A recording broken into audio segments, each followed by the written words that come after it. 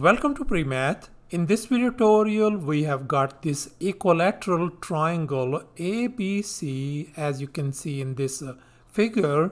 In other words, AB, this side length AB equal to this side length BC equal to this side length AC and now we are going to calculate the X and Y values. So let's go ahead and get started with the solution. And here's our very first step. Let's consider this side length AB equal to side length BC and we know our side length AB is 3x minus 4 and this our other side length BC is 2x plus 1 so we can write this one as 3x minus 4 equal to 2x plus 1 now let's move this 2x on the left hand side and negative 4 on the right hand side.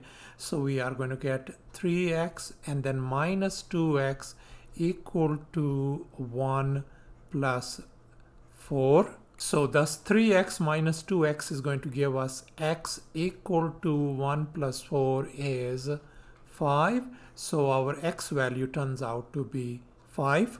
And here's our next step. Let's consider this side length AC equal to side length BC. In our case, our side length AC is xy plus y minus 7 and our side length BC is 2x plus 1. So we can write it as xy plus y minus 7 equals to 2x plus 1. Alright, now let's go ahead and move this negative 7 on the right hand side. So we got xy plus y equal to 2x plus 1 and this negative 7 is going to become positive 7 so thus we got x y plus y equal to 2x plus 8 and now we are going to substitute x equal to 5 value in this equation. So wherever we see x, I am going to replace that value by 5. So we got this one 5y plus y equal to 2 times 5 plus 8. Let's simplify. 5y plus 1y is going to give us 6y equal to 10 plus 8 so 6y turns out to be 18 let's divide both sides by 6 so y turns out to be simply 3 so thus our x value turns out to be 5 and y equal to 3 value. Let's go ahead and plug it in in these x's and y's and see whether we get the right answer. Over here, when we substitute this one for x equal to 5 value, so this become 3 times 5 minus 4.